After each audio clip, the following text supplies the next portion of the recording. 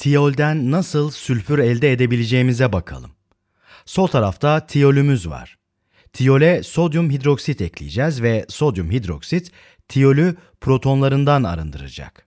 Tepkimenin ikinci basamağında ise tiyol alkil halojenürle tepkimeye girecek ve ürün olarak sülfür açığa çıkacak. İşte sülfür de burada.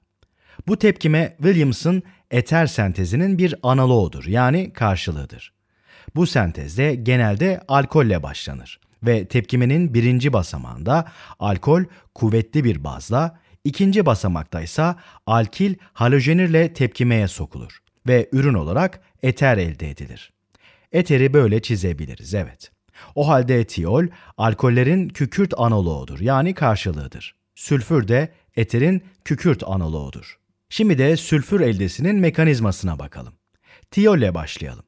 Karbonumuz var, kükürte bağlı, o da hidrojene bağlı. Ve kükürt üzerinde iki ortaklanmamış elektron çifti var.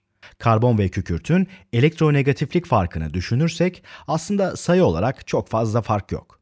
Yani bu bağ pek polar bir bağ değil. Bu durum alkolde gördüğümüzden farklı. Alkole bir bakalım. Oksijen karbondan çok daha elektronegatiftir. Bu oksijen kısmi negatif olur. Sol taraftaki karbonsa kısmi pozitif olur. Alkollerde çok daha büyük bir elektronegatiflik farkı vardır. Tiyollerde ise o kadar büyük bir fark yok. Yine de tiyoller nükleofil görevi görebiliyor.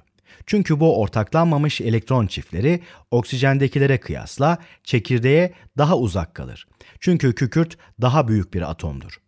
Kükürt üzerindeki bu elektronlar daha kolay polarize olabilir ve bu yüzden tiyoller harika nükleofillerdir.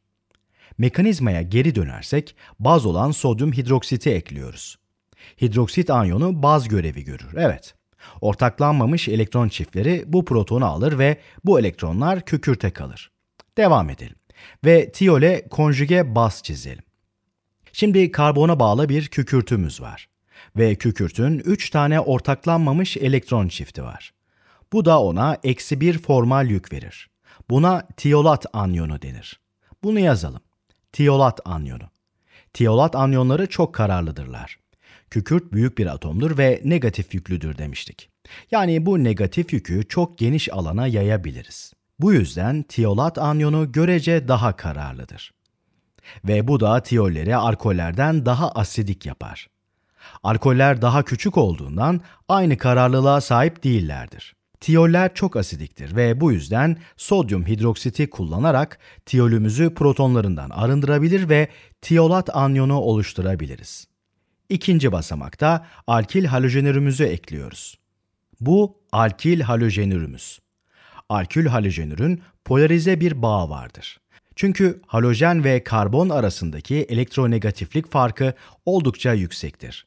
Halojen kısmi negatif yük, bu karbonda kısmi pozitif yük alır. Evet, tiyoller kuvvetli nükleofillerdir.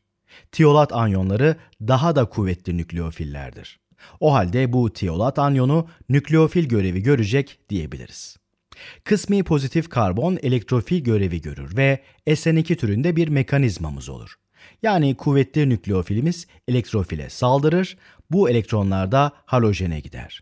Şimdi buradan devam edelim ve artık ürünümüzü oluşturalım. SN2 türündeki mekanizmamız işte burada. Ve sonuçta kükürte bağlı 2 R grubu elde ederiz. Bu R grupları aynı da olabilir, farklı da. Böylece sülfürümüzü oluşturduk. Şimdi sülfür eldesi ile ilgili başka bir örnek çözelim. Şöyle bir şeyle başlayalım. Evet, bu molekülle başlayacağız ve birinci basamakta bu tiyole sodyum hidroksit ekleyeceğiz. Hemen sodyum hidroksit yazalım. Na artı ve OH eksi. İkinci basamakta alkil halojenür ekleyeceğiz. Etil bromürü alkil halojenürümüz olarak ekleyelim. Mekanizma düşünüldüğünde biliyoruz ki birinci basamak asit baz tepkimesinden oluşur. Hidroksit anyonundaki elektron çiftlerinden bir tanesi bu protonu alacak. Bu proton tiyolümüze ait asidik protondur. Böylece buradaki elektronlar kükürte geçer. İlerletelim. Sonuçta oluşan tiyolat anyonunu çizelim. Bakalım neyimiz varmış. Bir halkamız var, kükürtümüz var ve kükürtümüzün 3 ortaklanmamış elektron çifti var. Tiolat anyonları mükemmel nükleofillerdir. Ve alkil halojenüre baktığımızda brom ve karbon arasındaki elektronegatiflik farkını görebiliyoruz.